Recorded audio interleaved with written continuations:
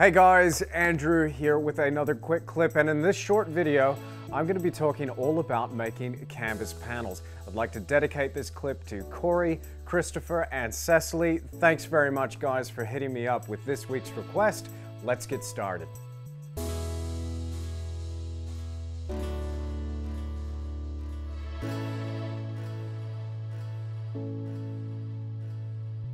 Now I'm going to show you two different ways to do this. One of them is not really considered the archival or proper way, but it's a good way to produce some really quick, small study panels that are great for sketches or even on plein air paintings. Now, I take some dress pine. This is about six millimeters, so it's not really gonna warp or move too much.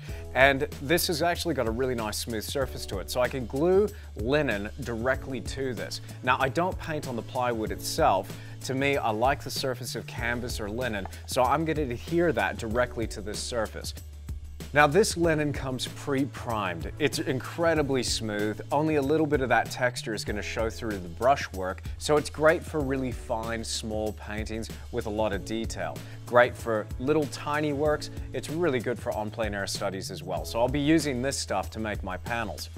Now, once I have these panels cut to side, it's time to coat them with some sort of adhesive to stick that linen to the surface. And what I'm using is standard PVA glue. Now, PVA stands for polyvinyl acetate. It's a really common woodworking glue, and it can be great with all sorts of different applications. It's fantastic here for gluing that linen to the surface. But remember, I did say that this is not really the archival way of doing it. It's just a way to knock out some quick study panels for you to get on with painting on plein air or in the studio. Now, what I'm going to do here is I'm going to cut my piece of linen to size to fit this panel exactly. Now remember I did say that this is not really the archival nor the best way to do this. I'm going to show you that in a minute. But once we cut this to size, it's then time to adhere that linen directly to the board.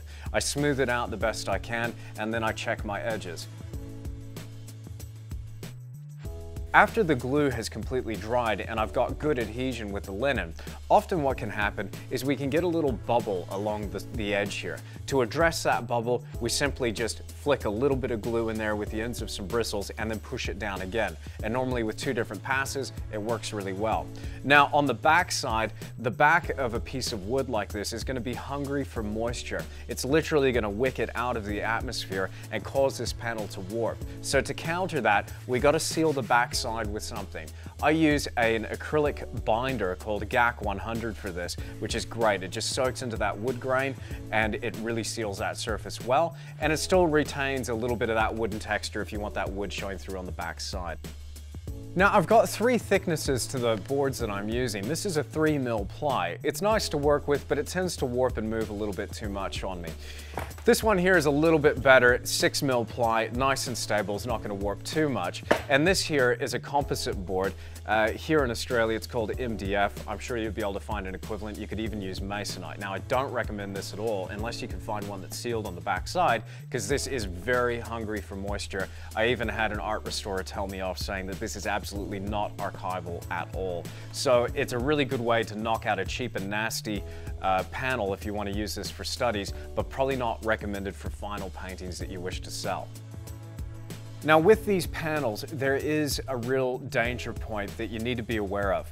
Whenever the adhesive soaks into the back of that linen, it actually shrinks the linen down smaller than the edge of the board, which means if you've pre-cut your linen when it's loose, like I have, it's gonna shrink in past the edge, exposing a wooden edge. We don't necessarily want that unless the rebate of your frame of the finished article is going to actually cover up that raw edge. So as I mentioned, there is a much better way to do this in a way that will give you a really slick edge and something really archival that you can then turn around and sell. Let's get started on that one.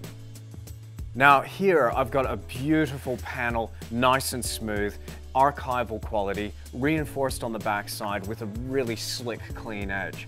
What I'm gonna do is take this panel and cut around this panel with a little bit of extra linen around the side, taking into account for some of that shrinkage that's going to occur. And then I'm going to paint some archival PVA directly on this surface. Now the difference with the archival PVA is that we're not gonna get any yellowing or cracking or any risk of disadhesion at all. It's really good stuff. It's a very stable binder. So once I've painted the surface, I then put that linen down and smooth it out. Being sure not to rub directly on the surface, I put down a sheet of baking paper as a mask. This allows me to then take a canvas wedge, which is a little wooden straight edge here that you've seen me knock into the back of some of my canvases, and then I just scrape out from the middle out towards those edges, getting rid of all those air bubbles.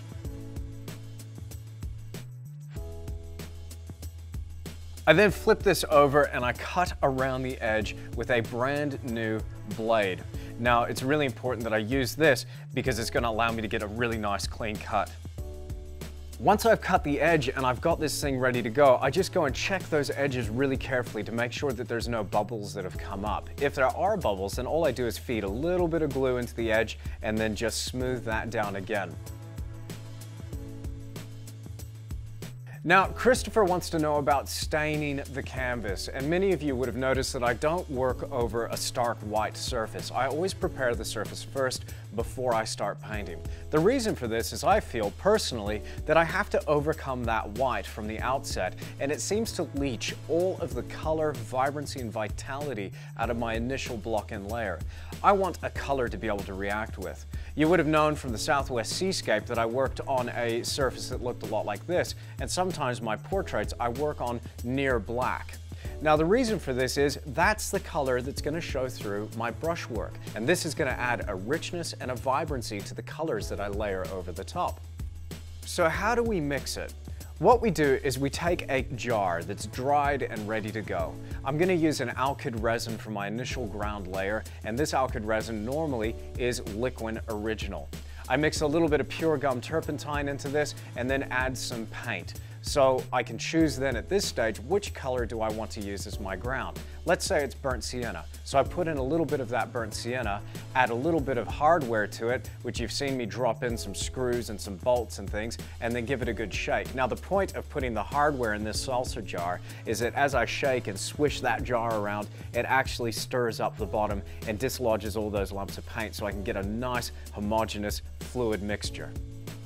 Once we have this fluid mixture ready to go, it's time to paint it over the surface of our canvas panels. What I do is I brush this on as flat and thin as possible without building up too much excess of this liquid. And then I wipe it off, just staining the surface, and then leave that up to dry, which should take about 24 hours before you're ready to get on with painting.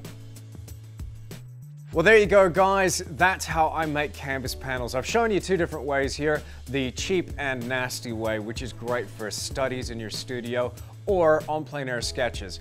And another way, which is great for an archival method to give you a really slick product, something that you can sell and be proud of. Guys, if you haven't already, check out my latest portrait painting tutorial, available as a DVD and download. And for a limited time, I'm giving away the Stockman for free with every portrait tutorial purchased. To activate your promo code, simply subscribe through www.andrewtischler.com. Well guys, if you like what you saw, hit that like button. If you want to come back for more, make sure you're subscribed. And as always, you can catch me on Instagram and Facebook. But also, make sure you're subscribed through andrewtischler.com for bonus content and giveaways. We'll see you again next time.